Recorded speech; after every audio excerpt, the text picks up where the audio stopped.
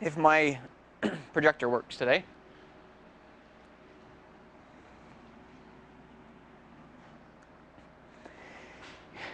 For starters, I'm not from Georgia. I'm actually from Utah, and I like to start with a little introduction to my family. My wife, you can't really see in this picture here, but she has the prettiest blue eyes you've ever seen. And uh, we've got three little boys, Cade, Clint, and Cole, um, seven, six, and two. So we, uh, she's much more busy than I am, especially when I am on the road teaching salt classes. So when I'm not teaching salt classes or clay classes, I love the outdoors. I keep bees as a hobby. I enjoy canyoneering. Um, Zion National Park is a, an amazing place in Utah. If you ever come out to Utah, let me know and we'll take you into some slot canyons like the one here on the right. When people hear of salt and Utah, the first thing they think of is the Great Salt Lake. And they think, oh, you must be from the Great Salt Lake, or real salt must come from the Great Salt Lake. Well, if you look at the geology in Utah, the Great Salt Lake is the big blue dot near the top. And then the second line down, the pointer won't work, but that second line is where the real salt deposit comes from, which is in the middle of nowhere. And so people will ask where, you know, how did this salt get there? And we'll talk a little bit more about that in a minute. But just know that the real salt is not from the Great Salt Lake. And if you've ever been to the Great Salt Lake, I probably wouldn't eat much stuff coming out of the Great Salt Lake.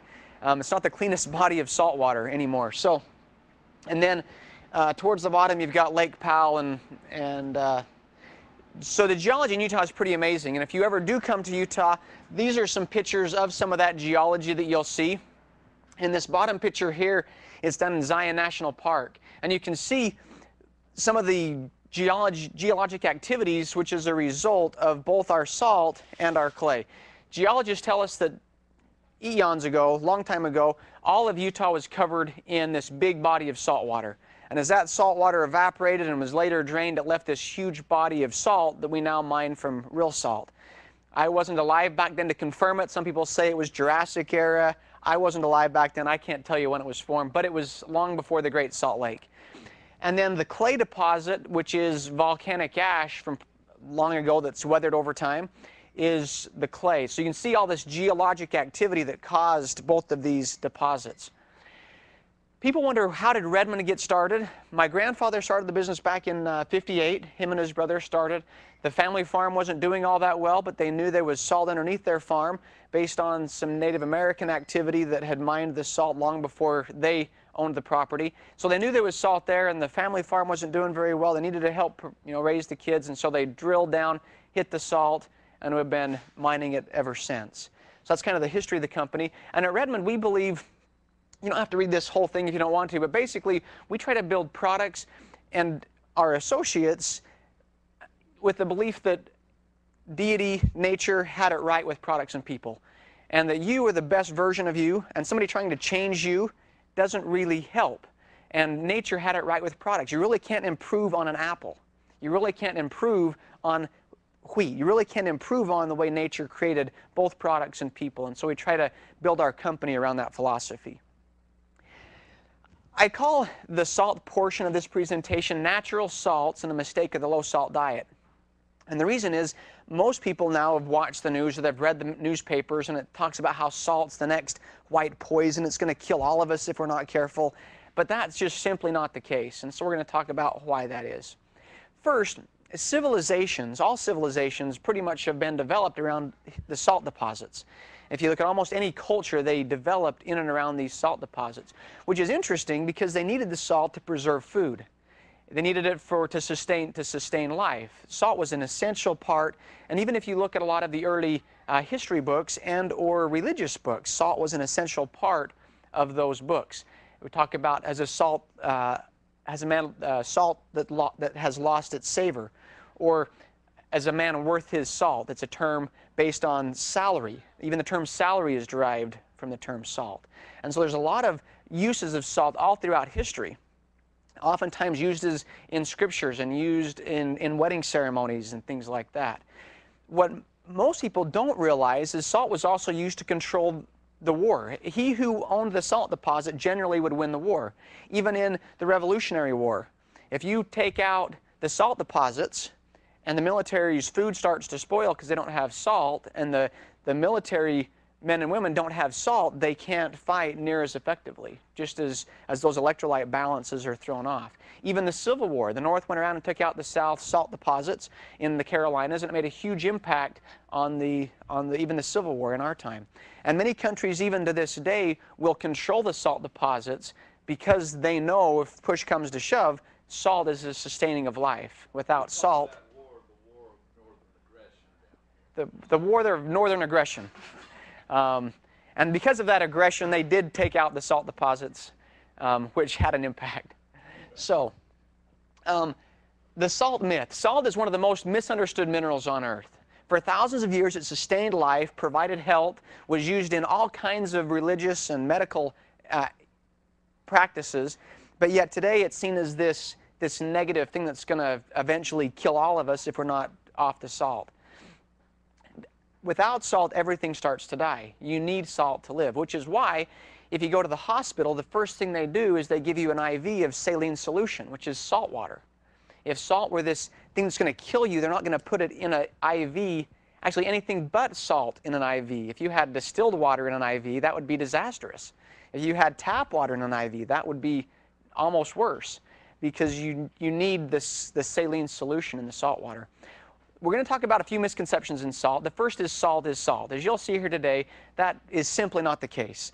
There is many different types of salt, kinds of salt, uses of salt, and the idea that salt is salt is salt, just wipe that right out of your vocabulary. Some people, because they've heard that salt is bad for us, how many people have heard that sea salt is better? A few of you? Yeah, most people have. Again, throw that out with the bathwater. That is completely not the case. Maybe 30 or 40 years ago, that was the case. Today, as you'll see here in a minute, sea salt is generally not better than what you may consider table salt. You may have heard the term kosher salt. A lot of chefs and, cooking shows call for kosher salt. We'll just cover that right now. Kosher has two meanings when you talk about salt. The first is kosher means approved for the Jewish community. And there are some foods that are considered by the Jewish law of health okay to eat and others not.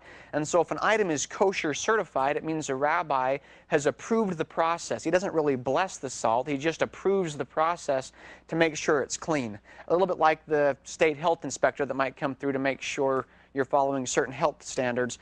There's a, a Jewish process that's the same. So if you see the chef on TV calling for kosher salt, generally that chef isn't meaning salt for that's approved for the Jewish community unless it's a Jewish cooking show. When he's saying kosher salt, what he means is a larger crystal. I'm going to pass this shaker around and you can see that this one that says kosher in the name is a lot chunkier salt. And a chunkier salt works better for certain applications. For instance, if you've got a prime rib, you want to suck the juice up out onto the outside of the top of that prime rib. So the, the, the recipe might call to roll that prime rib in some kosher salt. And kosher salt will draw the moisture out more efficiently than a fine salt without making the meat too salty. So when the chef calls for kosher salt, know that's the size of the crystal that they were talking about. Uh, for pretzels, it's nice. Or for some loaves of bread, you can pull the bread hot out of the oven, put the butter across the top and then sprinkle some kosher on it. Kind of gives it a nice little crunch and uh, a fun thing to do with like a loaf of bread or a pretzel, which is the kosher size crystal. You can do the same thing with the coarse, which is here in the store. And you get a grinder, and then you can just grind a little bit of salt on the top. Just select the size of crystal that you want. So when you see kosher, realize that if it says a little symbol on the back or the front with an OU or a circle K or something like that. It means approved for the Jewish community, which our salt is. But in most applications, if it says kosher, you want something that says kosher on the front and is a bit chunkier crystal. You mind coming up and passing those around for me? Okay. You also may have heard of gray salt. Gray salt is typically a salt that comes from a current ocean. We'll show you some examples of that. One of the types of gray salt you hear is Fleur de sel. We'll talk about what Fleur de sel is and, and where to use that. Terms you may have also heard rock salt, which is just the kind of defines the size of the chunk. Rock salt's typically more of a, a larger chunk of salt. You can have rock salt that comes from a current ocean, from an ancient seabed. Other terms you'll hear crystal salt, which is basically uh, typically they're talking, if they say crystal salt, they typically mean real salt or the Himalayan salt that comes out of Pakistan. Other terms you hear red salt, black salt, pink salt. Typically those are produced in uh, the, I'll, I'll show you how those are produced a little bit later on. So a little bit of chemistry, and then we'll get into some more fun stuff. Just, I, I don't want to bore you too much with the chemistry, but we learned in grade school that our body's about 72% water. So if I'm 150 pounds and I have 72% water, it means the rest of me is about 108, 108 pounds of water and 42 pounds of mineral. Outside of a spiritual discussion, that's really all I am, is water and minerals. And because of that, that's why salt is so important and having the right kind of salt is so important. A Nobel Prize winner once said that you can track every ailment, every disease to a lack of minerals, which is important to us today because most of our soils are depleted much more than they used to be even 100 or 200 years ago. If you look at wheat from 100, 200 years ago and wheat today, unfortunately the wheat today, depending on if it's organic and the soils it came out of, is much more deprived of its nutrients natural salts, whether it's coming from a current ocean, an ancient seabed, a dead sea, have all of the minerals that our bodies need in the right proportions, which is kind of interesting. Our bodies are, are literally saline solution in motion, which is why we get that saline in the hospital. Now, because of that, it's important to realize that water without minerals doesn't conduct electricity very well. And if I were to, to fall over here on the floor with a, a heart attack or something, and, and hopefully somebody calls the paramedics and they come running in here, what they're going to try to do is reestablish my electric current. Because outside, again, of a spiritual discussion, the only difference in me here living and talking and me laying on the floor dead is the absence of an electric current outside of the spiritual side. And so, because of that, we need these minerals. We need to be able to conduct electricity. So I've got a light bulb here, and I haven't plugged it in yet. And I've got two wires that are sitting in a pool of water. And then it's coming to a light bulb. So if this water were a great conductor of electricity, when I plug this in, it's going to blow up. No, just kidding. When I plug this in, that light bulb should turn on if this water in this bowl were a great conductor of electricity. However, you can see the light bulb isn't turned on. And that's because distilled water and even tap water that has been removed of the minerals do not conduct electricity. This is why the Florida Gators created the product Gatorade because these the athletes were out there working out in the hot Florida sun and they were starting to pass out because of the loss of these electrolytes. So they created a drink with electrolytes and salt because as you add electrolytes, then your body begins to conduct electricity. And so if you are walking around mineral deficient and you're not getting enough minerals in your diet and you're not getting enough minerals other places, and even if you're drinking all the water in the world, you're going to be flushing minerals and not adding minerals, which is why when you go to the hospital, they give you an IV of saline solution, not an IV of tap water or distilled water, because you need those minerals to conduct electricity, because your mind communicates with the body through an electric current. That's how. That's why the EMTs come in and try to get your electric current back into balance, into normal. I'm going to plug that off so we don't have the EMTs coming when I stick my finger over there and it gets really exciting. So without it, so, uh, without salt and minerals, the body won't conduct electricity. If you look at an IV bag, this is just one example. There's a couple of different standard IV bags you might use in a, in a hospital setting. This in here is called Lager solution, but you can see for each 100 milliliters, it contains sodium and chloride, which we know, um, 600 milligrams of it. But it also has calcium chloride, potassium chloride, these other electrolytes that will help balance out that sodium. In nature, you, you have all these other minerals that help balance out that sodium. In nature, seawater doesn't occur, occur as pure sodium and chloride. There is sodium and chloride in it, but there's also potassium chloride, magnesium chloride, calcium chloride. Very much like if you go to the, the supermarket or the health food store and you buy a supplement of vitamin C, oftentimes you, if you look that over, that vitamin C is going to be pure ascorbic acid.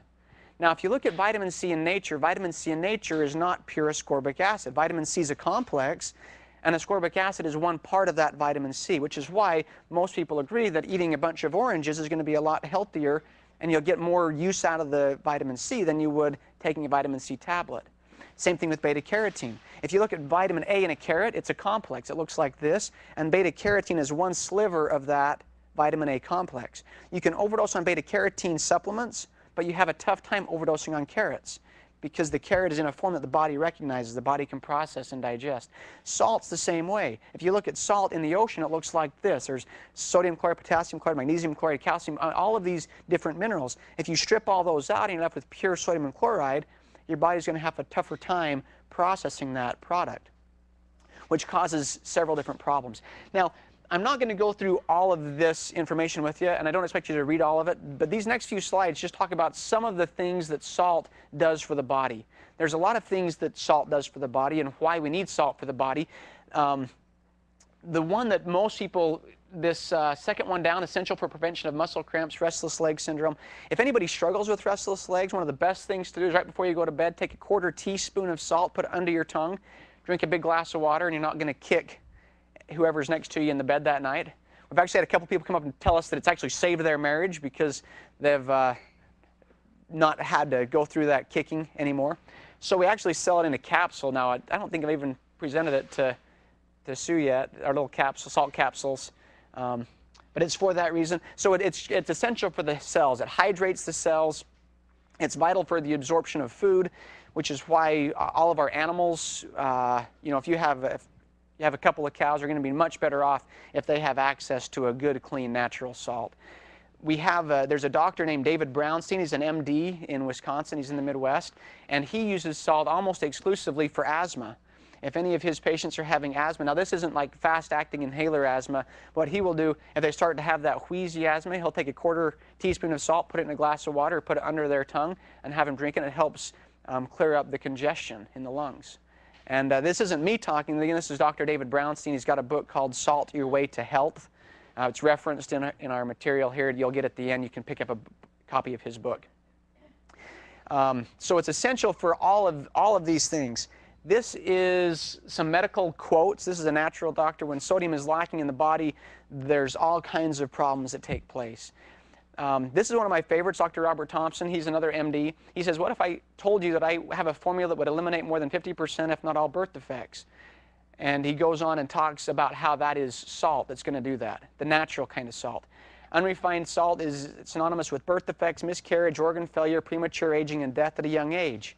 And yet this is the same salt we're talking about that's going to kill all of us. So um, he has found that in his practice, most people are salt deficient, not having too much salt.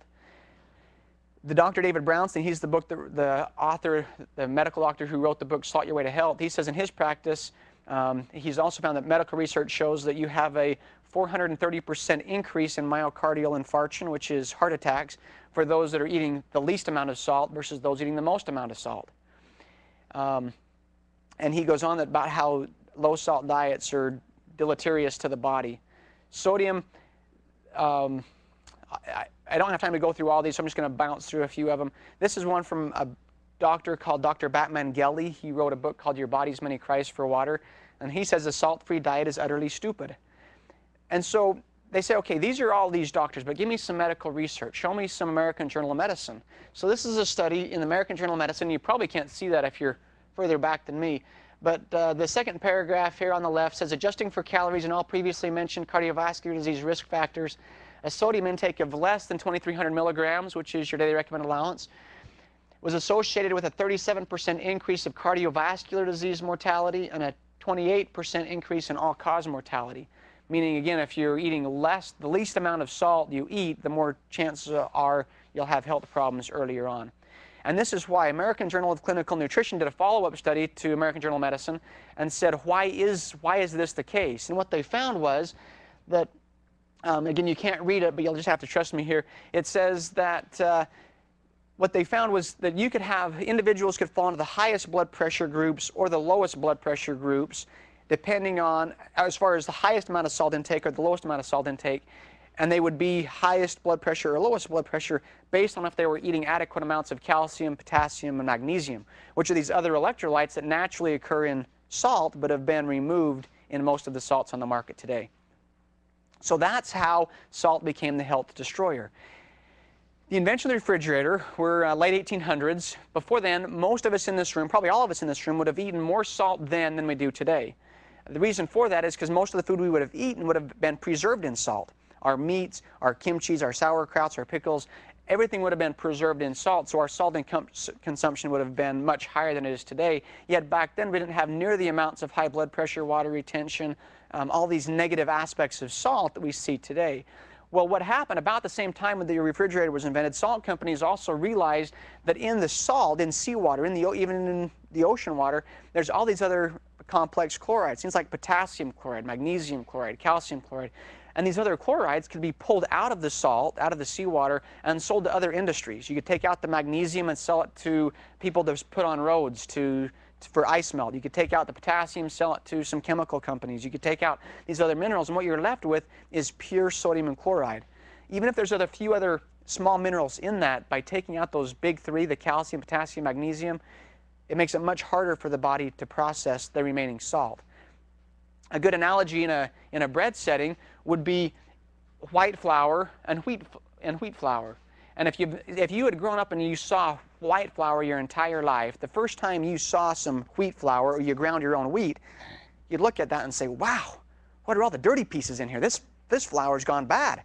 And uh, yet salt's the same way. If you look at natural salt, it shouldn't be stark white and free-flowing uh, any more than, than your flour should be stark white and enriched if you go with the, you know, back to nature. Not only is salt a problem because of the lack of the trace minerals that we have, which I've just talked about. Years ago, and the way they still produce some of the gray salts you'll see today is they have a big evaporation pond where they'll pull the water in from the ocean, let it sit in that pond. And as the salt water sits there, the, the salt will start falling out of suspension onto the bottom of the pond. Well, by using a series of ponds, if you bring the seawater in, you can bring it into the first pond, you can pull out maybe the magnesium chloride, then you move the water to the next pond, pull out the calcium chloride, move the water to the next pond. So through a series of evaporation ponds, they're able to manipulate and take out different minerals that you have in nature if you let salt occur like it's always occurred in the past. That's a problem which we just talked about. Even more so, or just as problematic, is all the additives that are in most of our salts today. This is just a short list of the approved additives in your salts. You can see things uh, sodium bicarbonate, that's baking soda. You know, that's not a, a, real problem. But you get to some of these, like the fourth one down or the third one down, you'll see this yellow prussiate of soda, which is also known as anti-caking E535. Both of those anti-caking agents are really sodium ferrocyanide, which is sodium, iron, and cyanide. And if you take that into the body, yeah, small amounts probably aren't going to be a problem. But if you take a large amounts of that over a long period of time, that's not going to be great for the body if you can avoid it. Same thing with the sodium silicoaluminate. That's the aluminum that they link to some of the um, aluminum deposits that occur in the body that end up causing problems later on. And again, a small dose isn't going to be a problem, but over time, all of these additives will start to accumulate. Um, this uh, polyethylene glycol, which is the third one from the bottom, that's one carbon atom away from antifreeze. Um, polyethylene glycol, that's stuff you see sometimes on Dateline, and uh, you know somebody's gotten into some antifreeze for some reason, but that's what that is. So these, this here is the material safety data sheet off the, some of the chemicals we just looked at. Um, and the ones I want to point out, this yellow prussiate of soda, you probably can't read it, but it says it's extremely hazardous in case of ingestion. Repeated or prolonged exposure can produce target organ damage. And so a lot of these additives are not things we want to be taking on a daily basis. Sodium silicoaluminate, um, it says here, it says repeated exposure to a highly uh, toxic material may produce deterioration by accumulation in one or many human organs. This is the aluminum deposits that people link to Alzheimer's and all kinds of stuff. So um, potassium iodide is interesting. That this is hazardous in case of ingestion, but if you look at the bottom, it says repeated, um, let's see, oh, it's second from the bottom. This substance may be toxic to the thyroid but yet it's added, uh, potassium iodide is added to salt, started to be added back in the 20s to get iodine in people's diets, which was important because most people are iodine deficient. But salt is, and a chemical version of iodine is not the best way to get iodine. Eat more, you know, natural foods and you'd be able to get a lot of that iodine. Seaweed, kelp, fish, avocados, eggs are all rich in iodine. And then finally, you've got things like dextrose. We used to say just a spoonful of sugar helps the bad salt go down. The reason dextrose is in most of the salts I'm going to show you isn't because of the bitterness, and they're not trying to mask that. What they're trying to do is stabilize some of the other chemicals. Uh, dextrose is a great stabilizer, so by putting that in the salt itself, it'll help the other additives in the salt not turn yellow and look funny over time. So I wanted to show you a few pictures of some salt products. And I'm not trying to poke fun at any of these brands, but just to give you a feel for what the back of a shaker looks like. And I'd encourage you to, to you know, take your salt that you're using at home or any product for that matter and look at what the ingredients are and just kind of practice you know, checking out the labels and you'll might find some things that'll surprise you. The first few salts I'm going to show you are salt substitutes. Typically they're um, recommended for people or people think they're to be used for those that are maybe salt sensitive or they're on you know, high blood pressure issues like that. What's interesting, if you look at the label of any of these salt substitutes, you're going to see a warning in bold. It says, for normal, healthy people. Um, please consult your general practitioner before use. But yet this is supposed to be the stuff for sick people. And so it's just unfortunate because of the chemicals in there, it can cause more problems to the heart than your regular, even your processed table salts. So you'll see ones like this. Again, the red says for normal, healthy people. Please consult your general practitioner before use. If you're receiving treatment for diabetes, kidney, or heart disorders, please consult your general practitioner before use. But these are the salts that people turn to thinking salt's bad, but what, unfortunately, they're going to salts that are worse than they would have had if they would have just stuck with their processed table salt that they grew up with. Um, so things like tricalcium phosphate, uh, sodium silicoaluminate, and you'd expect some of these salts here that you've grown up with to have some of these chemicals in. And all the salt that it's talking about is the demineralized salt. They've already taken out the potassium, magnesium. So you not only do you have the lack of minerals in the product, but you also have the extra problem with some of these other additives that are added to it. But you kind of expect that with some of these more table salts. The difference is when you switch over to sea salt, people think, oh, I'm, if you see two products on the shelf and you see this one and maybe the previous one, most people might think, oh, the sea salt one's going to be better. Unfortunately, the salt to start with is both the same demineralized salt, almost 80, 90% of the time. Plus, in this case, you've got yellow prussiate of soda, which is sodium ferrocyanide that you didn't have in the previous one. So this is actually a worse additive than the one we looked at before. So we move over to this one, you can still see it's got a list of chemicals. This actually has one more chemical than the big blue jar that you maybe grew up with. This has five in it. The one that you made, that big blue one, has four in it. So this has more chemicals it. It's a sea salt than the processed table salt that most of the U.S. uses. Then you'll see ones like this, another, another sea salt that looks great. And then on the back, it has this mysterious anti-caking E535 which if you look that up on the internet or in the library, that is sodium ferrocyanide. Nobody wants to put that on their label, so they can call it E535, even though that's exactly what it is. Um, you'll see some like this. Now, this has no additives. It just has refined sea salt, which means it probably doesn't have as many minerals. It's been maybe run through this process, but at least there's no additives. So I would start this one well before some of those other ones we looked at. And then this one here, you might not be able to see this. Again, there's no chemicals in it. It's a really good product. But if you read the back label pretty close, it says the seawater is transferred through a series of evaporation ponds which successfully eliminates these other elements. So you're starting out with a great product, and they're taking out the potassium, taking out the magnesium, and then what you're left with is 100% salt, which is true, but you're missing those, those minerals, those electrolytes. It's like you know, the difference in a vitamin C versus an orange. So how do you find a natural salt? Now, obviously, I like Redmond brand, and uh, we'll talk a little bit more about that. But I also want to show you other three other great brands that I think are good brands to start with. So if you don't use ours, and uh, for whatever reason, then make sure you find one of these other good brands. And so I'll, I'll show you kind of what questions to ask that will lead you to our brand or maybe, maybe another brand on the market. First is know the source, know who's producing it. Today, most of our products are coming from the same few producers.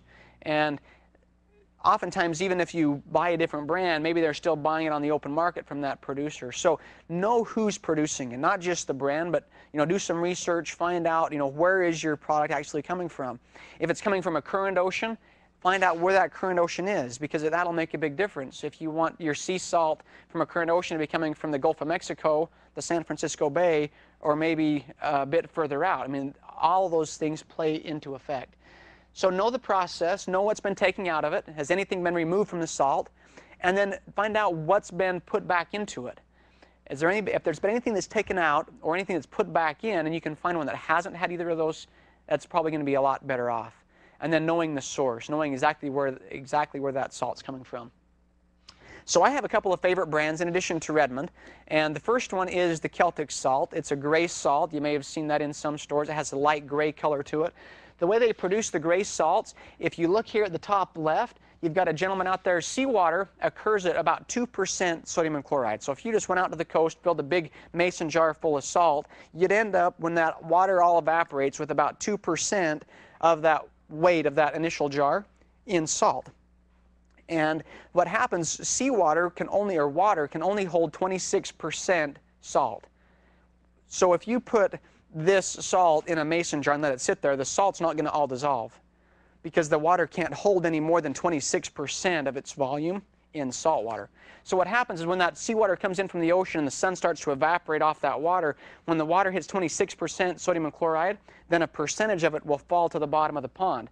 So a guy goes out there, stands in the pond with a rake, and he rakes up that salt off the bottom of the pond. And that bottom of the pond, it generally has a gray clay in the bottom of that pond. So you get not only the minerals from the salt, but you get a little bit of the minerals from the clay into that gray salt, which is the way salt's been produced since the dawn of time. And so there's the Celtic brand, which I really like. I think it's a great brand. There's also some other brands of Celtic, um, of gray salts. One of the challenges is that it's a little bit more expensive because generally it's coming from overseas. So it's going to be more expensive here for us here. Now you also may have seen this Fleur de sel. It's very expensive, where if you're paying gray salt maybe 70 cents an ounce, you'll pay up to 350 or even $4 an ounce for the gray, this Fleur de sel, which is kind of a, a flower of the ocean. And if you look at that Fleur de sel, what happens in this picture on the top right, if you have seawater that's right about 26% sodium chloride, if you, we took a mason jar and filled it with salt water, and then we took a hair dryer and we took that hair dryer across the top of that salt water, you're going to get this film that kind of flash crystallizes across the top of that jar. That film is your Fleur de sel. It's a very light, like a snowflake salt crystal, and it's very expensive. And he's raking the top, that little film off the top of that seawater, and that's where the Fleur de sel comes from. The problem is it's not very effective to have a hair dryer out there, so they have to wait for the wind to hit the pond just right, which is why it's so much more expensive. Generally, if you're putting Fleur de sel into, into a product, into breads, into soups, it's not worth the $4 an ounce. Where this might come into play would be if you're doing maybe some salt caramels or some something fun that you get this light crystal on the top of the product. Maybe would, would be worth you know, paying that extra uh, four times the amount.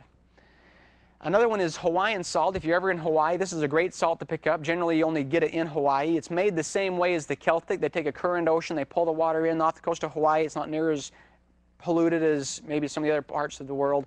So they pull this salt water off, they evaporate it into a pond, and that pond has a, it's lined with red clay instead of gray clay. So you get this nice red hue to the product. Hawaiian tastes a lot more like ours than many salt, a lot more like the real salt, than, other than it has a little bit of a dusty flavor to it from the light uh, gray red clay that they use there in Hawaii. The product that's most like ours is the Himalayan. Many of you may have heard uh, about Himalayan salt or pink salt as it's sometimes called. The Himalayan salt all comes from Pakistan. There's about 17 mines in Pakistan that produce the Himalayan salt, which is why it's so much more expensive. Generally, it's quite a bit more expensive because you've brought it in from Pakistan. And you'll also see pricing pretty dramatically different, and that depends on some of the salt that's coming from those countries are fair trade certified, meaning that somebody's gone in and certified that they're using fair labor practices and it's produced in a sustainable way, others not so much. And so you'll see this big price variation from 60 cents an ounce up to $1.20 an ounce just based on, on how they're producing the product in Pakistan. Of course, my favorite is, is real salt. As I mentioned before, real salt was produced or is produced uh, in a underground mine in Utah, and it's underground underneath my grandfather's farm. And you can see here in this picture in the center, the strata in the mine runs vertically, which is very unusual in, in a sedimentary deposit. When you look at uh, the way seawater would be laid down, it would be laid down like this book, you know, layer upon layer upon layer. Under heat and pressure, somehow that deposit has been pushed up like this, and so that deposit sits vertically, and so you can see the vertical lines in the mine a question we get sometimes is, are you ever going to run out of salt? And uh, the deposit itself, it looks pretty much like that. It's about a quarter mile wide, three miles long, and core drilling shows it's about 5,000 feet deep in this pillar. And at 5,000 feet deep, it turns and goes this way. Now, mining, sometimes I say we're, we are down about 300 feet in that 5,000 foot deposit. And I've been, you know, since 1950. And so we're, we're just barely scratching the surface. If you've never been underground, 300 feet sounds like a long way. in mining, 300 feet is, is just not even the surface yet. So we have a lot of salt. You can make a lot of loaves of bread, and uh, we still wouldn't be out of salt. If you're ever in Utah, please come by. This, the pictures of the rock crystals, I meant to bring some rock crystals, and uh, we just crush those up. The entire refining process at Redmond is we take the salt that comes out of the ground in rock crystal form, like you see here, and we crush it up. That's the entire process. And we leave it just the way nature created it. Now, I have got a short little video clip, and uh, maybe I'll hold off and show that. If you'd like to see, it's about a four-minute clip, and it shows some of the process in the mine, um, how we extract it, takes you down underground. Kind of a fun little video. If you'd like to see that, come up afterwards, and we can sit around my laptop and watch it. The sound probably wouldn't carry through the entire room very well. Some of you may have noticed that our labels have changed. We had a lot of customers call us and say, hey, are, did Redmond sell? Are you guys a different company? Because they saw this recent change in our shakers. Maybe some of you that have been in the store for a while have noticed that change. We just put this up just so you could see that we are the same company. We do have occasional label changes since the 70s when we came up with the idea of calling it real salt as opposed to just salt that came out of Redmond. Um, so it's kind of fun to see how it's changed over the years. So we're just going to skip this video. Um, a few questions people have. First off, what's the difference in, in real salt than what I'm currently using?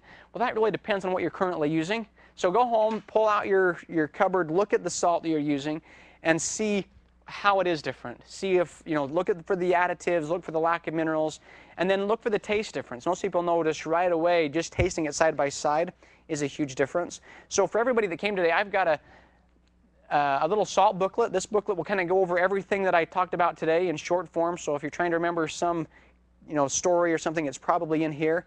And for years, we've had people that, uh, you know, this little two ounce shaker that's uh, available for sale for a couple of dollars here in the store. People love to take that with them to restaurants because once you get hooked on our on our salt, it's hard to switch back. But the problem with that shaker there, it's very hard to pack with you. It kind of leaks in your purse. It's too big for your front pocket. So now we have our chapstick tube size. So everybody that came today, feel free to grab one of these on your way out for your purse. Um, we might even have two apiece, so you can take one for a friend, and a couple of salt booklets. And does it taste better? Most people say yes. Nine out of 10 people say real salt tastes much better than any other product they've ever used in the past because of the lack of the, those bitter chemicals and because of the trace minerals that give it a very sweet, natural flavor that doesn't give you that burn in the back of your throat. And I've got some salt up here we can do a taste test with you if you still need some convincing at the end. Some people say, why is it so expensive? You know, I've looked at uh, my salt, my, my cheap salt that I've gotten for years, and I look at this one in the store, and it sells for $5.39. You know, why is this one so much more than the other one? Well, the real reason for that is many things. Mostly, many of the big salt companies, you can make your money selling those other minerals. You can take out the potassium, sell those, take out the magnesium, sell those, take out the calcium, sell those, and then what you're left with is kind of this byproduct that can be sold much less expensively than a natural salt, which is why although we're the least expensive of all the brands I showed you, your Himalayan, your Celtic, your Hawaiian, we're less expensive than those because those are all coming, they're natural salts, but they're coming from overseas. But if you look at the traditional salts, then, then the natural salts are going to be much more expensive. Is it good for my health? I'm not a doctor and I can't make that claim, but most doctors would say yes. We've actually got a few doctor quotes in our little salt booklet here. They'll talk about why salt is essential for health. And any doctor that tells you that salt's bad for you, then ask them why you get an IV of saline solution. And it may cause them to think a little bit and, and start, you know, doing the math there. Can I get too much of it? Most of your natural doctors and uh, your even doctors that agree with the salt philosophy is no, you can't. You really can't overdose on an IV. You could have an IV hooked up for quite a while, and unless you, you, could, you maybe need to have a catheter, but you're not going to overdose on an IV because your body's going to balance itself with that salt as long as you have the fluids to balance that out for the most cases. Why is it dirty? It's really not dirty, just no more than wheat flour is dirty. And is there iodine in it? Yes, there is. Real salt has naturally occurring iodine, about 10% of your daily recommended allowance per quarter teaspoon. However, what's interesting is even your iodized salt, only 10% of the iodine and iodized salt is bioavailable for most people. So even though you're getting about 50% of your daily recommended allowance per quarter teaspoon of iodized salt, you're only getting 10% of that that's really bioavailable, that your body can actually absorb and not just pass through. And a question we get oftentimes, can I use it if I'm on a low salt diet? again, we can't make medical claims, but most doctors say yes, and actually many doctors actually recommend us by brand because of its ability to, to balance out the body, help with restless legs. Dr. Brownstein uses it, again, for asthma and things like that. So, there's no really big questions on salt, now we can talk about the fun stuff, because clay, as, as much as I'm excited about salt and how essential it is for health, we say if you don't listen for yourself, listen for your kids and your grandkids, because we don't believe anybody should have children on their property or even adults on their property unless they've got some clay handy. And, and we'll talk about why that is. Any quick questions? Need a drink of water before we get rolling? Because this, this is the fun stuff. So you can see by my pictures here that clay has been used in many cultures throughout the world for many different things. Starting here on the top left, we've got a, a lady here eating clay. She just pulled the clay off a, a, deposit there. The one in the middle, they're making a clay cake. In many cultures, actually eat clay on a daily basis, and she's making little clay cakes to take with people throughout the day. Um, this is a close-up of those clay cakes.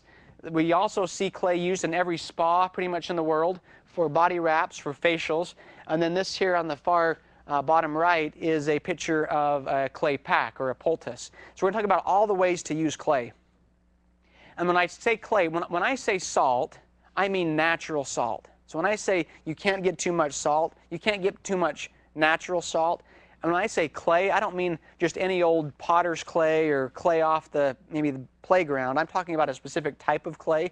And that type of clay is a bentonite, montmorillonite, living type clay. We'll talk more about how to find that type of clay. So native cultures have used clay since the dawn of time. If you go to almost any culture, I, I, don't know, I say almost any because I don't know of any that don't, but there might be some somewhere. But almost every culture that we know of has used clay for many different things. They've used it for topical as well as internal applications. Native American people called clay iwaki, which means mud that heals. So even in our country here, not only in, in South America and Europe and Asia and Africa have they used clay. Even our native uh, people in this country have used clay. Even animals have used clay, which is why they think people started using clay in the first place. If you um, some people may have there's a discover there's a show on Discovery Channel every now and again and talks about this group of parrots that eat clay. Has anybody seen that? Um, you'll have to watch for it. It's on usually like a Nova station. We'll talk a little bit more about that. But birds eat clay, dogs eat clay, horses eat clay, cows eat clay, and people eat clay, and they roll in the mud as well. And if an elephant gets hurt in the jungle, it doesn't run to the vet typically. It runs to the mud, and as it rolls in the mud, that mud dries, and just like that mud is going to draw out maybe a blackhead on your nose when you go to the spa, it's going to do the same thing for that thorn or that bee sting. And the elephants know that. All of these animals have used clay, and which is why they think many people started using clay themselves. The way we started eating clay, well, there was a book. We, we, so we had the salt deposit there, and we also had this little clay deposit there on my grandfather's farm.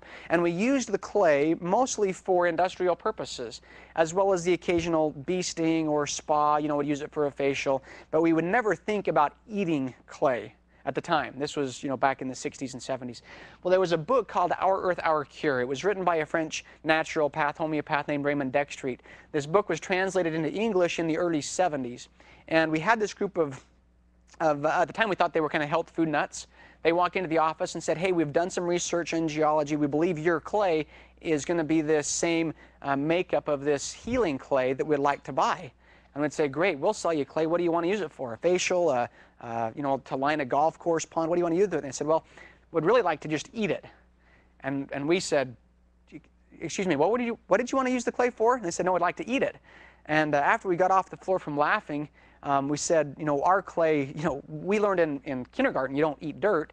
And so this clay is not is not to be eaten. This is an external, uh, you know, this is for industrial purpose. And they said, no, we, we, we've, done the, we've done our homework. Your clay is clay we want to eat. So we said, okay, we'll send it to a lab. And if the lab says it's okay to eat, not going to kill anybody, then we'll sell it to you. So we sent it to the lab. The lab came back and said, you know what, this, your type of clay we call inert. It's, it's not going to hurt anybody. It's definitely not going to help anybody. It's just dirt. And so we put it in a little jar and said, okay, you health food crazies, we'll sell you this little jar of dirt. We're not going to recommend you eat it because that's weird, but you can buy it if you'd like to.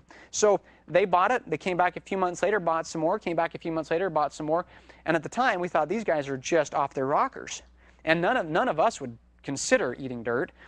Um, but they did give us a copy of the book, and we read the book, and this French homeopath says that the right kind of clay will do everything. It'll work on diarrhea, constipation, colitis, diverticulitis, Crohn. I mean, the list just goes on and on and on that this French nut says clay will do. And we didn't, we didn't believe one of them.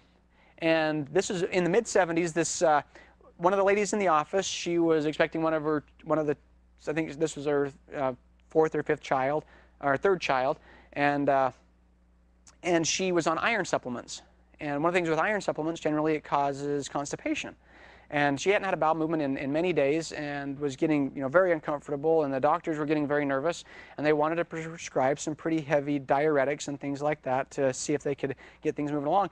And she didn't want to do that. She was worried about the health of her baby. And, and her husband said, you know what, this is weird, but there's a book that says right, this, that our clay, if you eat it, it's going to solve constipation.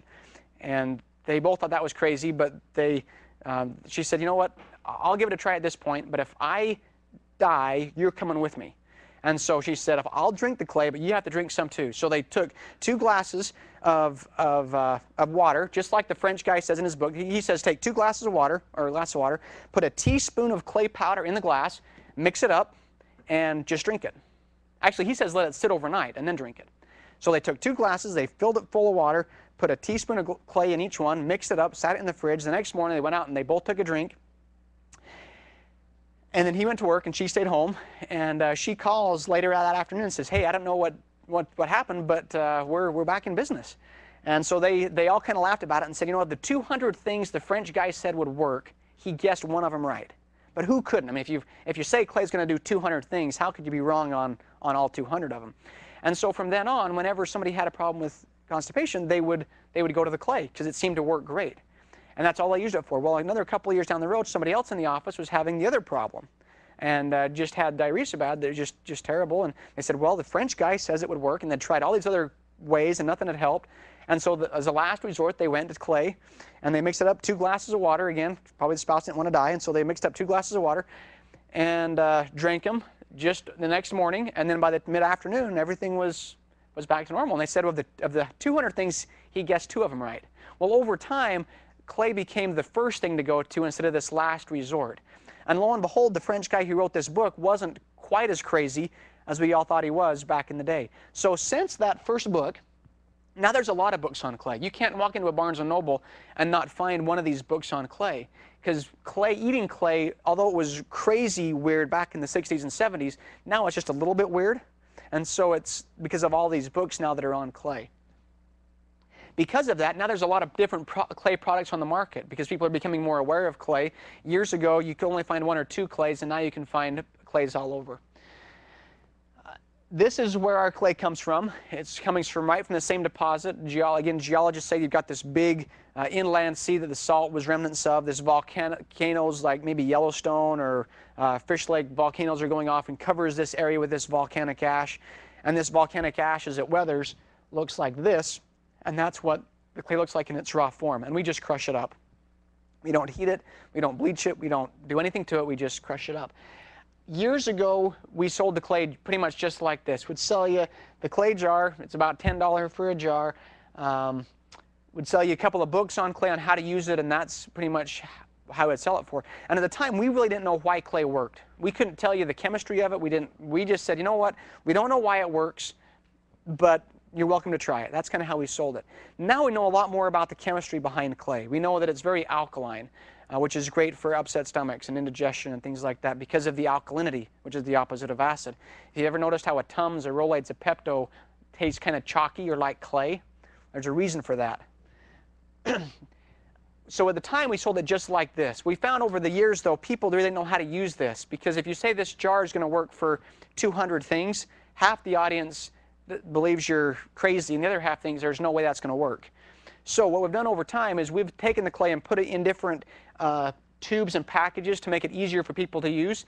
But the best way to buy it is still in this 10-ounce jar. Even though we've got some some fun products up here, I don't think these are in the store yet, but this is really your best value right here. And that'll sell. What do you you know? How would you sell that for? Okay, that's uh, we recommend 10, so they're get a penny discount if you buy it here.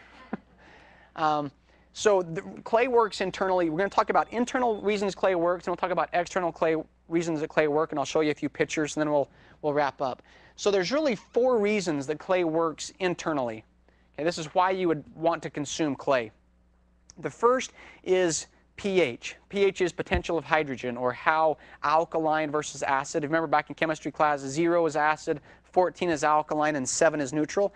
Anything above 7 is, is alkaline or basic, which is, and anything below 7 is acidic. Most of us today, unfortunately, walk around very acidic because of our, our diets. If you eat a lot of, of processed foods and sugars and stuff like that, you'll probably be a little bit over acid. When you have acid issues, you're going to have all kinds of stomach and bowel problems because of that excess acidity.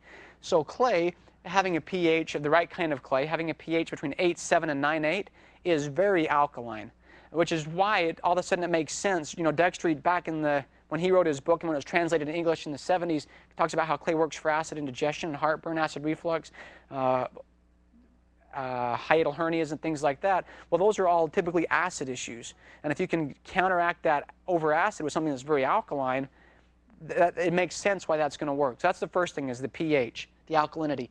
The second thing is cation exchange capacity. Now, you don't have to remember that big word. All remember is that clay is really strong. This type of clay is very strong negatively charged. If something is very negatively charged, it's going to bind positively charged stuff to it. A lot of your books on clay talk about the power of clay as a detox program. If you look at a lot of your health food products, if you ever bought a colon cleanse or a liver cleanse, chances are clay was a big part of that cleanse. The reason that is is because clay will bind those positively charged toxins, free radicals, pesticides, herbicides, uh, heavy metals that are positively charged to the clay, and it helps it pull it out of the system which is why you see clay as a part of that detox program. If you've ever tried to make your own wine, that's actually clay is used in, in distilling wine because you make the wine, you put the clay on top, and the clay binds the toxins to it, and you throw that away, and then you've got this, the wine left over. So clay has been used uh, industrially as well as medically for removal of toxins. Uh, activated charcoal. Anybody familiar with activated charcoal for like stomach gas and things like that? The reason activated charcoal works, actually EMTs, I'm a, an EMT on the side, EMTs will carry activated charcoal with them on the ambulance rig. The reason they carry activated charcoal is because its ability to bind stuff to it. So if you have somebody that's overdosed on some pharmaceutical, you don't want that pharmaceutical to enter the bloodstream. So by taking activated charcoal, that activated charcoal will bind the pharmaceutical so it can go out the right way instead of getting absorbed into the blood, which is why activated charcoal is typically used. And the reason that that is is because of its ability to bind stuff to it, because of its cation exchange capacity and its surface area to surface tension ratio. Basically, it's like a sponge, so it, it draws stuff into it. Clay works the very same way. And then finally, it's rich in minerals. We talked in our other presentation how mineral, most of us, unfortunately, in this room, are mineral deficient. We're not getting enough minerals in our food, and our, uh, our food is demineralized. Well, taking a clay, which is rich in over 60 minerals, really helps build that back up. So it's this four-prong approach on why Dextreit, who didn't really know why clay worked, he just knew it did. This is why it works. Now, there might be some other synergistic things that happen in the body that we are not aware of, but we know that this is the case because of the chemistry. So when people talk about clay, the first reason they take clay is typically for uh, acid issues because of the pH. And so if you have an upset stomach, the way Dextreit would say to take clay is to take a glass of water,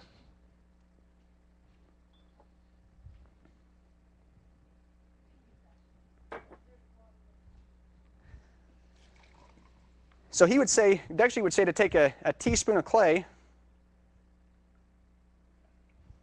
put it in a glass of water and let it sit overnight.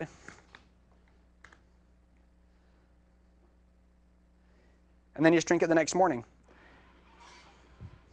Let's see if I can find a spoon here.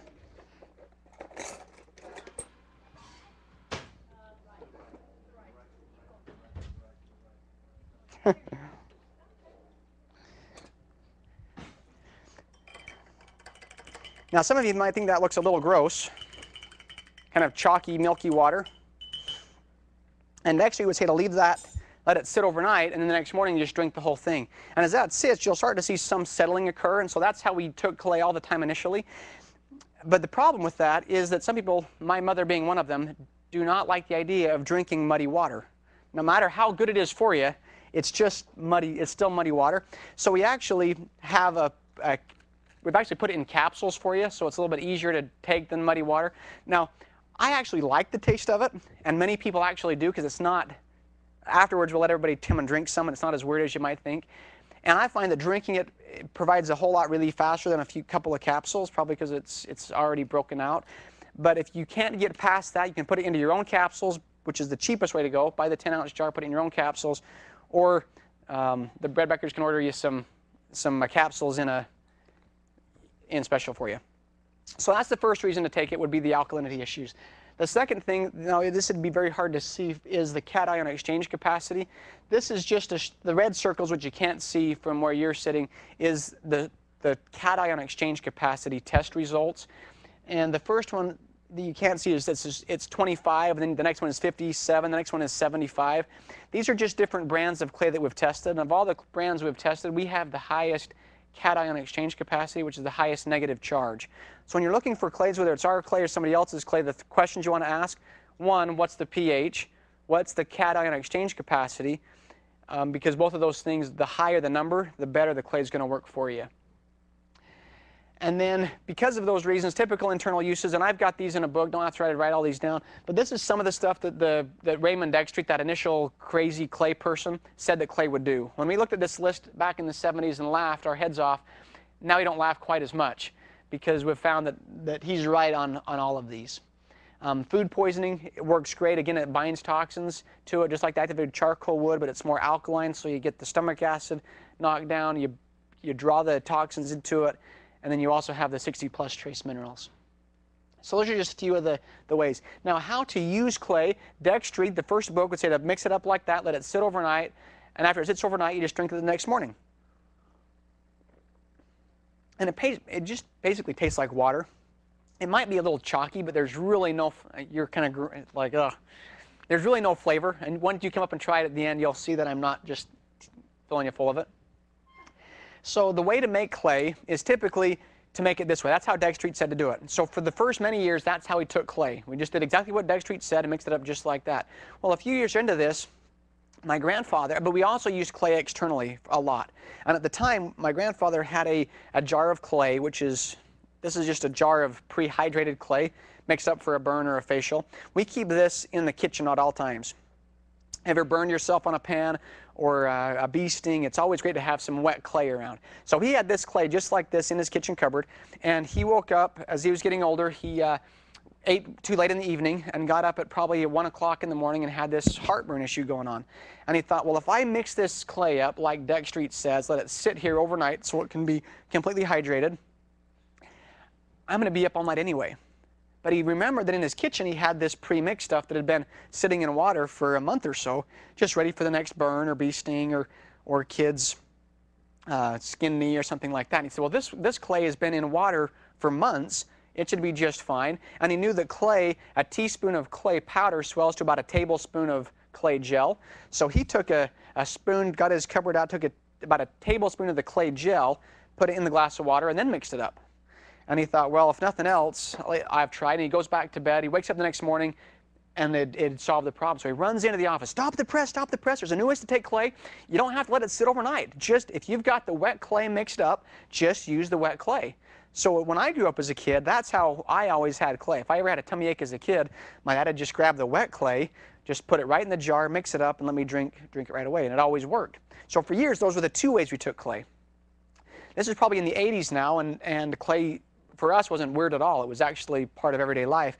And a person walked into the office, and she had been to Egypt and had gotten sick and went into the pharmacy, and the pharmacy in Egypt told her to take clay, gave her some clay. She gets back to the States, and she can't find any clay. She finds us in the phone book, drives down, and says, I'm, I'm here to buy some clay. We said, great, you know, it works wonderful. We didn't laugh at her because we, we'd used it ourselves at that point. And uh, we said, how do you take it? And she says, no, we said, we said, how do you take it? Do you let it sit overnight or do you use the gel? And she looked at us and said, what are you talking about?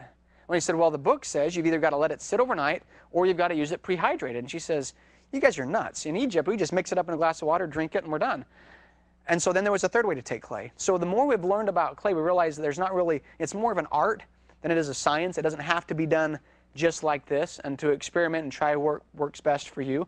And so from then on, we had three ways to take clay. Mixing it up, letting it sing overnight, which is how some people still do it. Using the gel, which is how I do it most of the time. Or putting it in, just mixing it up and drinking it, or taking the capsule. So that's going to be four ways to take it internally now. Now, Dextreit would say that you can just let this sit, and as it sits there, if you're in the front row, you might be able to see you've got some clay sitting across the bottom as it's kind of started to fall out of suspension. Dextreit, the original guy, says just drink till it starts to get a little bit thicker, and then stop there, and, and you'll be, that's all you need to do. Because of what I know about clay and the minerals in clay, I don't want to lose any little teeny drop of clay, so I'll just keep mixing that up. And if I don't get every bit in the first, in the first glass, I will put more water in, mix it up, and get every little granule out of it that I can because I'm looking for those minerals and that cation exchange that, that maybe you get some, obviously you get some of that in the clear water off the top, but personally I like to get every, every last drop. There's also capsules, which is a, um, an option as well. So we've done clay for years, and my grandfather, after he had kind of retired from the business, decided to do some missionary work down in Guatemala. So we'd go down there and, and spend some time building wells and teaching school and trying to get people to start businesses and things like that.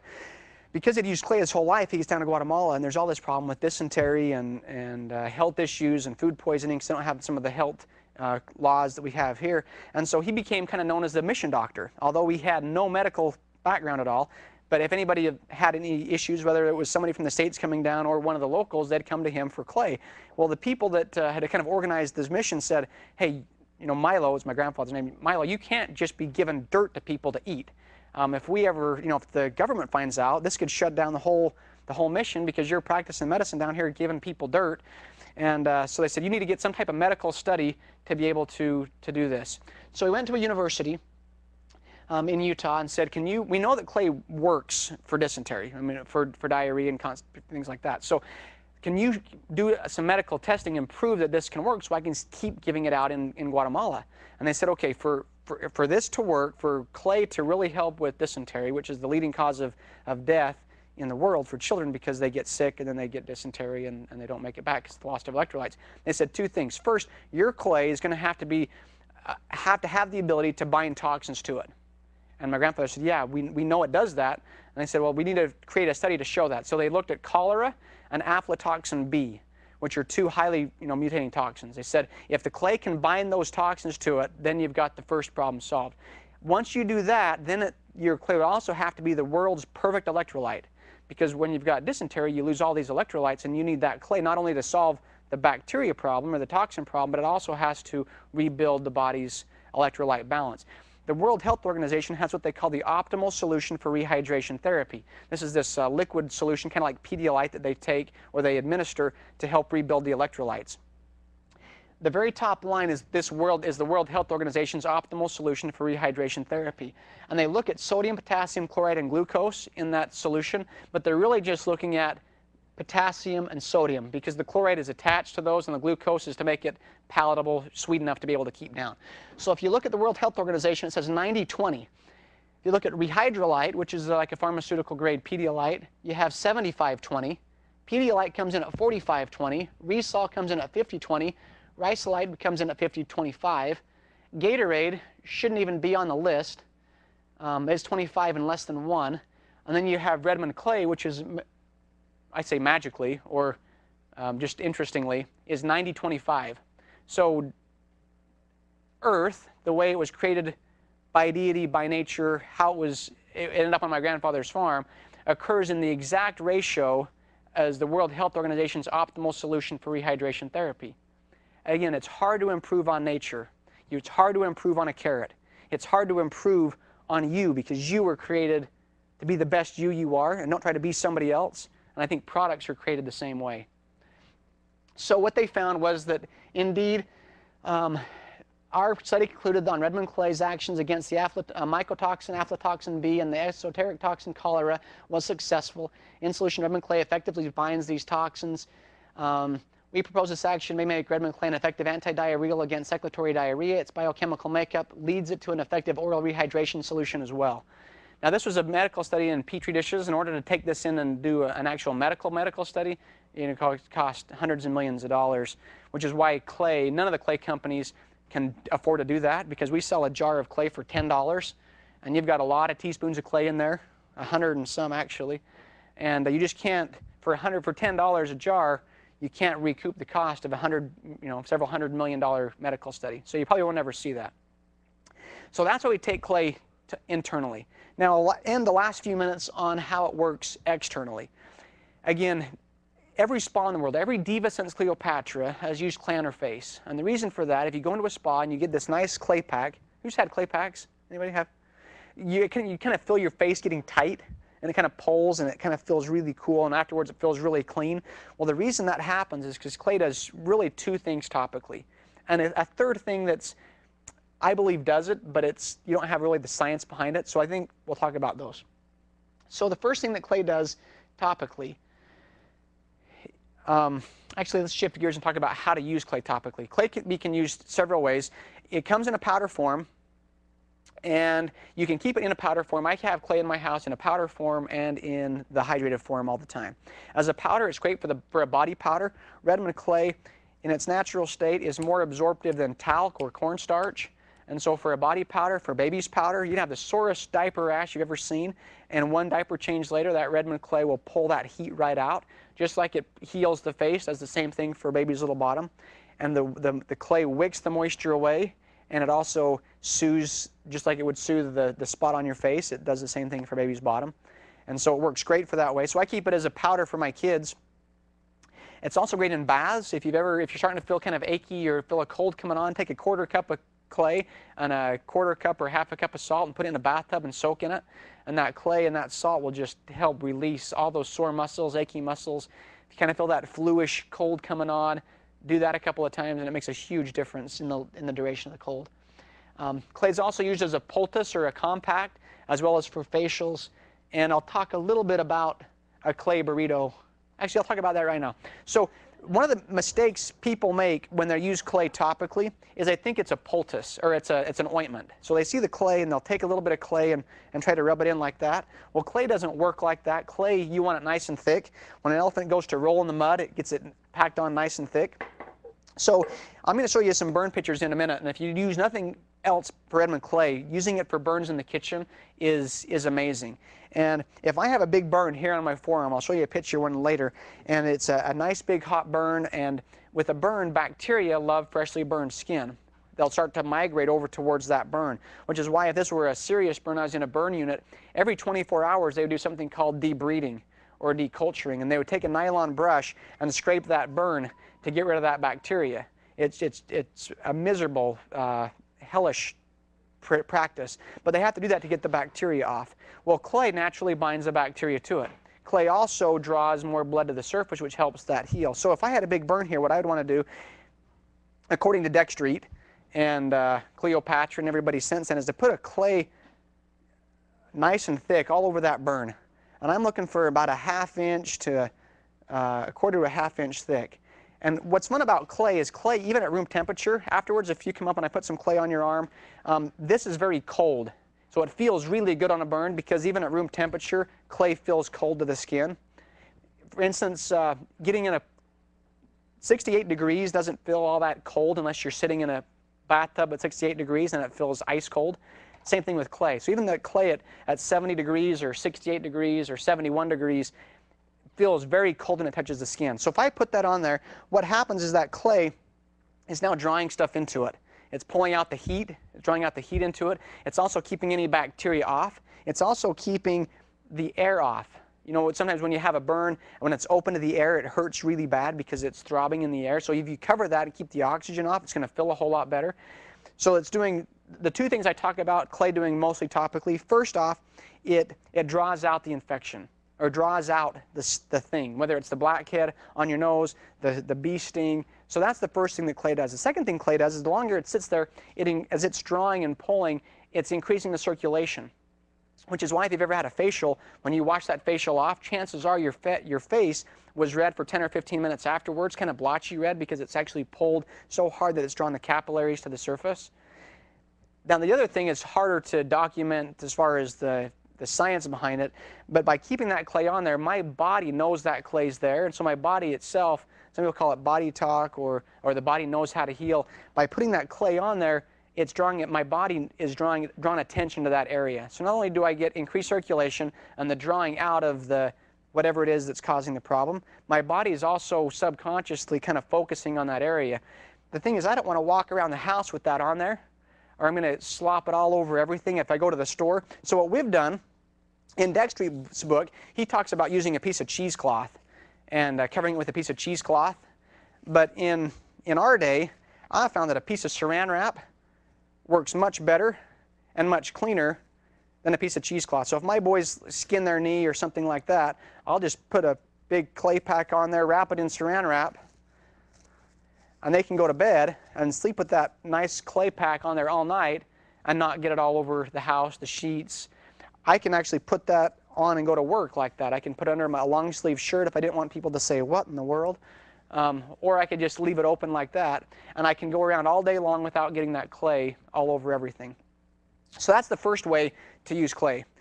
Now the clay burrito, we've had, uh, over the years, we've had issues with clay that are really hard to, to wrap like that. If you have, maybe, maybe you've got a, an eye issue, maybe you've got a sty that really hurts, maybe you've got an earache that you'd like to pack it with clay, sometimes it's not very convenient to use clay in some of those areas.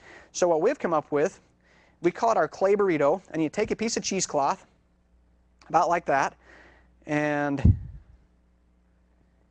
kind of lay it out there depending on the size. Then you just take your hydrated clay, which you should all have mixed up, ready to go. And for my kids' earaches, this works very well. The first time I used a clay burrito like this, I'd actually, you guys know what potato cannons are in these parts?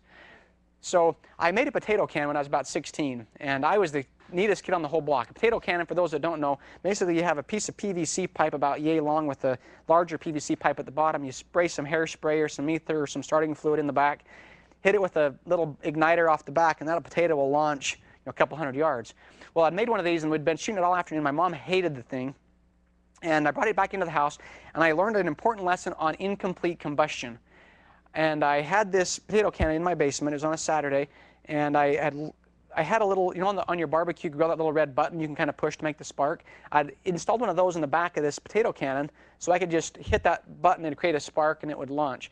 Well, I had shot it earlier in the day. I'd brought this thing in my basement, sat it there on my bed. I'd been doing some Saturday chores, came in and thought, I wonder if my sparker's working. Now, it had been shot several hours before. Little did I know that after you shoot something like that, the fumes can rebuild back up in the chamber. So I held it to my eye, looked down like this, and I hit that starter button and like slow motion, I could see this flame kind of just boiling up out of that barrel.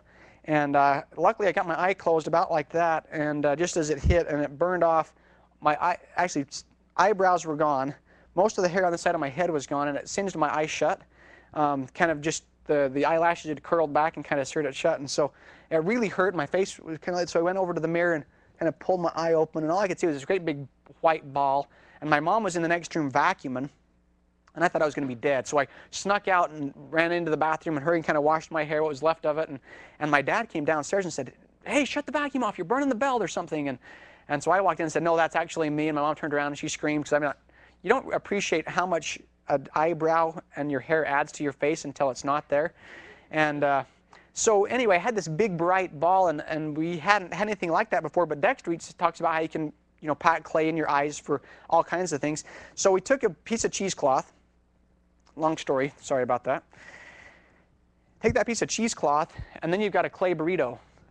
And then you can pack that on. It's nice and cool. You can pack it on over an eye, uh, over an ear. It's great for earaches. You can use that almost anywhere. You can watch TV without getting clay all over the place because it's self-contained in this little clay burrito.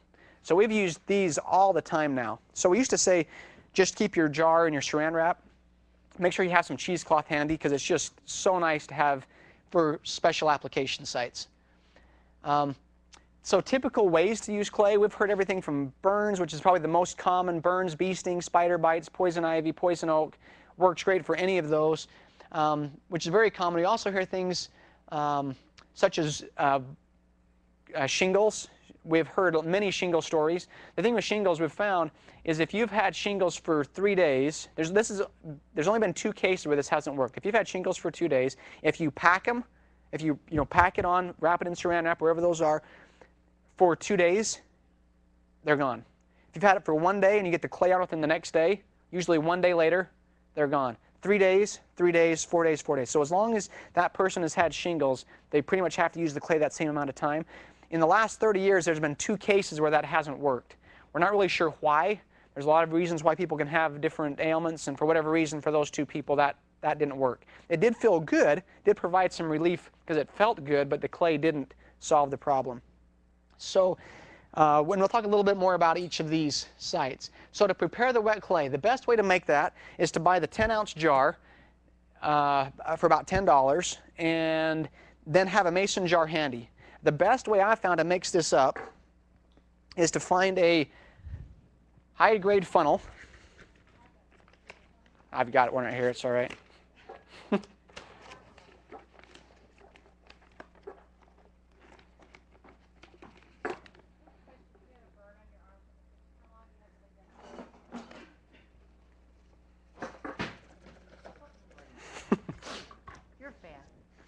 Thank you. Uh, question on the burn.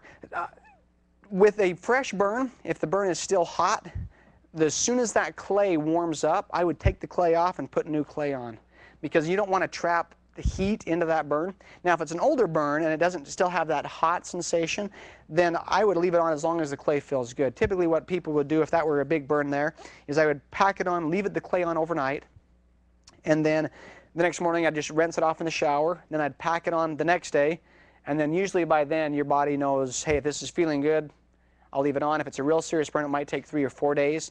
If it's a, a minor burn, it may just take just one time. But you'll be able to feel, you know, if you want the clay left on there. The thing with the clay, on a burn, you don't want to let it, it, dry. If you had something like a bee sting or a spider bite, you could pack that on. Your early books on clay say the clay is smart, and the clay will fall off when it's done as much good as it can do, and then you can put more clay on. And I think with burn, with like a bee sting or a spider bite, I will do that. If my kids are playing outside and they've got stung, we'll just pack the clay on a on the spot. You know, if they got stung by a bee, I'd put it on maybe the size of a quarter or a big silver dollar and pack pack the spot and let them set, just send them right back out uncovered. And then as the clay dries, it'll just draw and pull and then fall off, and then they'll come put more on. But for a burn, you always want to leave it covered. You don't want to ever let it dry on a burn or it really, really hurts. So take your, take your quart mason jar uh, or curd jar, whatever jar, jar you have, and a 10 ounce clay will perfectly make one quart of mud. So if you take that, dump that in there, and then fill your, fill this jar twice. Now the first time you fill it, you're going to say, how in the world am I going to get my second jar of water in there? But the clay shakes down very good. So you put it in there, shake it up, and then like magic, you have room for your second jar of water.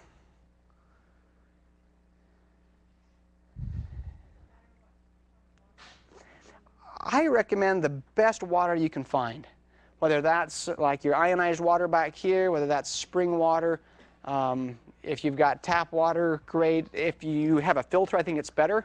So I always say the cleanest natural water you can find. I use ionized water at my house, but I think spring water works great or filtered water. Um, I'd rather not use tap water if it's got a lot of other stuff in it, just because you don't know how it's going to. Now, I don't know if you can hear that. It's very runny. If you let that just sit overnight, just like that, the next morning it'll look like that. So all I've done is just one jar of powder, two cups or two, two jars of water. So one to two. Let it sit overnight and you'll get that every time. And then you just leave that in your cupboard. It's not going to go bad. It's just clay and water. The worst case scenario, it dries out over time. And so you just add a little more water. Add a little more water to it. It'll just rehydrate itself. So I leave that in my cupboard all year long. I've got a friend who does a lot of time in the kitchen, and she uh, burns herself maybe more than some of us do. And so she keeps hers in the fridge because although it feels great at room temperature, if you're using it most of the time on burns, having that in the fridge, you get cold times a lot more. So that's how she stores hers is in the fridge. I've had tubes like this that have been in a under the seat of my pickup for years and never used them. And I'll pull them out years later when I'm out to my beehives or up fishing with my boys when I get stung by a bee or they walk through a stinging nettle bush or anything like that. So I always try to have clay available. Your first book on clay talks about how it should be stored in an earthen jar. He defines earthen as wood, ceramic, glass, something like that. Over the years, that's how I've always tried to store it, but now for convenience, we also have it in a couple of plastic tubes. If you're going to store it in plastic, just make sure it's good, clean, uh, virgin plastic. If the plastic is, has held other chemicals or things in the past, that clay could actually leach out some of those chemicals from the plastic. So we always say store it that way. How to hydrate it, I like just the cleanest natural spring water I can find. Storage, it stores great either wet or dry. The thing is with a jar like this, if you're using a regular mason jar and you've got the like the uh, metal canning lid, it will rust that metal canning lid about like that. So when I use a canning jar, which is what I usually use, is I will take a piece of saran wrap and put it over the top, and then I'll put my canning lid on, just so the clay isn't on always touching that metal or it'll rust your. The other thing is not to use a metal spoon or store a metal spoon in the clay because it'll do the same thing to the spoon just because of the way the clay interacts with, with um, drying stuff out. It'll help with that, speed up that oxidization process. So a few pictures and then we're done. Um, one thing I want to talk about, though, before is with a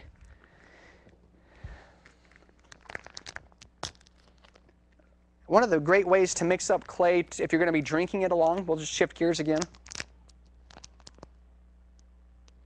oh, there we go. Um, a teaspoon, a teaspoon of clay in a glass of water is about the same, if you calculate it out, to a quarter cup of clay in a pitcher. So for those people that are drinking a lot of clay on a daily basis because they've got some stomach ailment they're working on, one of the very common testimonials we get is for uh, diverticulitis and, and colitis and things like that. If you're taking clay for that or a, or a hiatal hernia that you know going through a lot of clay, it's kind of a pain to be mixing up a glass at a time all the day long because what they'll typically do is take a um, a glass all day long. They'll just drink clay water. So one of the best ways to do that is take a, a gallon pitcher and put a quarter cup in the gallon pitcher and then sit that in your fridge. And then all day long, you've got clay that's mixed up. It's ready to go. It's always just right there. And at the end, we'll bring some of these cups over here so everybody can take a glass of the clay water. So here, we're just going to finish with about a half a dozen pictures or maybe a dozen pictures. This is, these are just testimonials we've gotten over the years. This first one is a sunburn. This was a, a, a, young gal. She had blonde as they come. She was working her first summer out of college as a flagger for the Department of Transportation. And she stood out like this for about 12 hours that first summer day and just came back with second degree burns on her arms from the sun. And you really can't see very well, but maybe if you look at the picture on the left, you can see those blisters um, on the left picture on the lower arm from the, from the sunburn. So they just pack it on nice and thick. They wrapped it in cheesecloth actually and then sprayed it with some water to keep it nice and wet. That's how they chose to do it.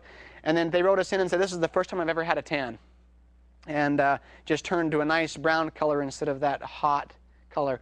This was on our Facebook site. Uh, Lindsay wrote us and said I needed some clay. To, let's see, I used some clay today as a poultice for some pretty painful burns I got on my hands. I was amazed. Nothing was relieving the pain, so I decided to give it a try and instant relief. Seriously, um, it was shocking how instant it was. After soaking uh, for a few hours, uh, the burns are still tender, but they don't hurt at all. I'm so thankful I discovered this clay. We hear this all the time for burns. This is the last burn I'll show you. This was a gentleman who took a settling torch across his forearm. He was working at a machine shop and somehow turned and just took his torch right across his forearm. It looked just like that, other than it was the other arm, I suppose. Um, and instant third degree burns, blistered, you know, yucky burns. He went to the hospital and they gave him some ointments and creams and sent him home said, there's nothing we can do about it. And uh, his neighbor had used some clay before, so they came and got some clay and packed it on. And then four days later, he came back in and it's back to pink skin. And again, if clay for a burn, you want to keep the bacteria off because bacteria love freshly burned skin.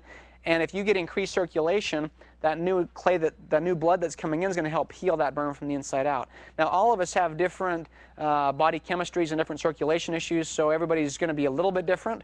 But it's pretty amazing that this guy's able to go back to almost normal in just four days.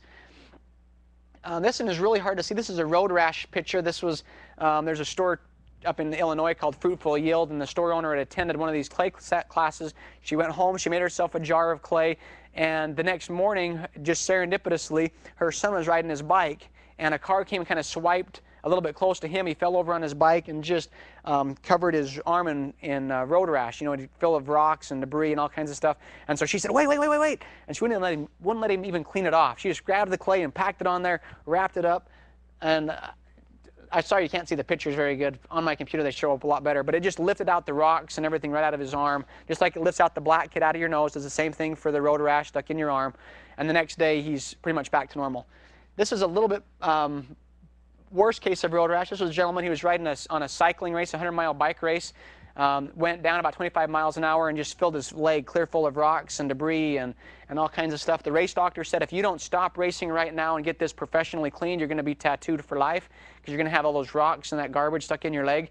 Well, he finishes the race and he calls me and he says, hey, you gave me some clay. Was a friend of mine. I gave him some clay years ago and never tried it. He hadn't even mixed it up. It was in his cupboard the entire time. He calls me and said, hey, you told me I could use clay for a road rash. Well, I've got a, into an accident and my, my leg's pretty messed up. And I said, well, first take a picture. So he took this picture, then he mixed up the clay, just like you know we did today, packed it on there. He laid on the, in front of the TV on a sheet. His family wasn't home at the time, and uh, let that clay dry. As the clay dried, he just jumped in the shower and just washed it off. He didn't scrub it. He just whatever clay stayed on, stayed on. Whatever washed off, washed off. And he took this picture a couple hours later. You can't see in this picture. There's actually two rocks you can still see left in this picture. They've been pulled out since then um, with his second round of clay. This was a gasoline burn. This was a lady, a 78-year-old woman who uh, cut her ankle out in her sprinkler field, and she has poor circulation anyway. And so over several months, it became gangrenous. The picture on the far left, you can see the gangrene. It was moving up her leg. You can see it's approaching her knee, and they couldn't get ahead of this infection. They tried steroids and creams and antibiotics. They couldn't get rid of it. And so they were talking about amputating at her knee. Her daughter had used clay for a brown recluse spider bite, and it worked wonderful. So her daughter suggested she try some clay. Well, she packed it on just like this. They put a bread bag up over her foot and just packed it on. And they did that for several nights, right in a row. And, and even in the first month, they were able to get the whole gangrene pulled out. And then two months later, she still had some circulation issues, but it totally, totally drew that, drew that out. This is my most disgusting picture. This was a gentleman who had a big, this is a, uh, a guy's back. And this is about right there on his back. It's about a size of a silver dollar, about a half inch deep. He had some skin cancer that was removed. After it was removed, it wouldn't heal. And so he had this big gaping hole in his back. He just couldn't get rid of it. So uh, they packed it on, and, and, two weeks later, they sent us this picture, which is the one in the middle.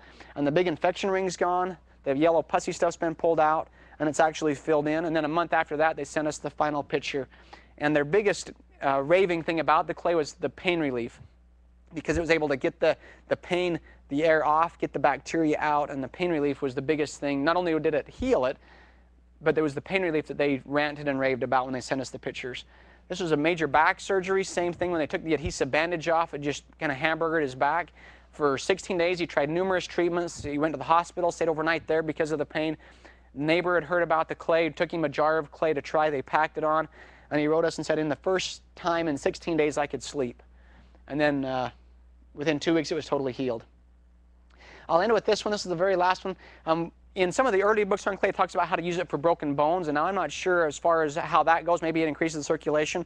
This uh, kid was playing baseball. He was a high school. He was a junior year of high school. He was playing baseball, and he was the shortstop. The outfielder had caught the ball, turned to throw it home, and just fired it, not realizing that this kid was standing about five feet behind him. So full speed ahead, five feet away, just crushed his face. The ball hit. He just dropped like a rock. Uh, crushed every bone in his cheek, shattered his nose, and uh, took him to the ER. When the ER doc, um, usually when you've broken your nose, you can kind of hear a like a pop if you try to move it. There was actually no pop. It was just like like Play-Doh. Um, and they said that because of the swelling, they couldn't operate. They said, we can't, we, we have to rebuild your face. We've got to put a new cheekbone in. We've got to rebuild your nose, but we can't do that because of all the swelling. So what we need you to do is to come back here and see us every day, and we're going to put some steel rods up your nose to reopen your nasal cavity because otherwise your nasal cavity will be closed off. So he goes home, he packs his face in clay, and in just a couple hours of the clay pack, you can see how much that's already opened the eye up. That's because you're getting new circulation in. When new circulation comes in, it grabs the coagulated blood and pulls it out. So you have a lot of testimonials for bruises. We've got a lot of people that have sent pictures of their grandmothers who have fallen in later years and they've bruised their face and they pack it in clay and it just draws that bruise right out. Well, you can see that that's happened to him. He should have had both of his eyes blackened at this point, but the clay with the new circulation Um, did it with a cheesecloth. Actually, put a piece of cheesecloth down over each eye, and then just packed his whole face in clay like you maybe would at the spa. Other than it was over the eyes as well. He goes back the next day to the ER for the procedure, and the ER doc says, "I don't know what you did, but I've never seen swelling go down this fast. We can operate today know, nurse clear my schedule. So he went in and, and it, so it didn't rebuild his face overnight. He had to still have the surgery, but he was able to do it the next day rather than waiting two or three or four days with all of that pain and those procedures. And I know this story because that's my little brother. And uh, so the reason I started out the presentation by saying you always should have clay on the property, on the premise, is because there is just so many ways to use clay whether it's for facials, bee stings, spider bites. My, my wife called last night. My little boy had a stomach virus or something. He came home from school and he was just very sick to his stomach. And he didn't want to eat anything, but he asked my wife for a glass of clay water and then he went to bed. And then this morning, he's just fine again, a rambunctious five-year-old. So we always try to keep clay on the property. And this is the best way to buy it. It's, it's the cheapest way to buy it. Because of convenience, we actually have it in different tubes now.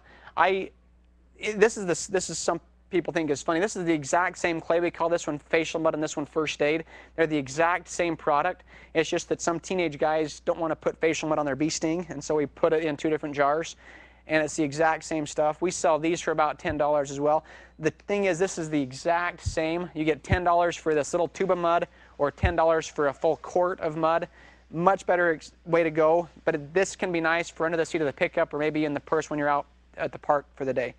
And then um, for everybody that came today, I've got a little booklet that my dad wrote called We Eat Clay and Wear It Too. Talks about all the ways you can use clay. Talks about some of the stories we told today and tells you how to mix it up. Feel free to grab one of those. And uh, I sure appreciate your time. Make sure you get your pocket shakers, and I'll turn the time back over to Sue.